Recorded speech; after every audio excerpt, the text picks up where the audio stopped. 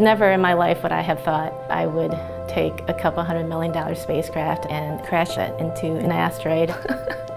My name is Michelle Chen, and I lead the team that is responsible for the autonomous navigation of DART spacecraft to hit an asteroid. The DART mission is the first planetary defense test mission. Our goal is to hit and impact an asteroid to understand and study the momentum transfer so that we could potentially later down the road, if we need to, deflect an asteroid on its way to Earth.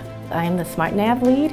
SmartNav stands for Small Body Maneuvering Autonomous Real-Time Navigation. SmartNav, I always consider it sort of like the brains.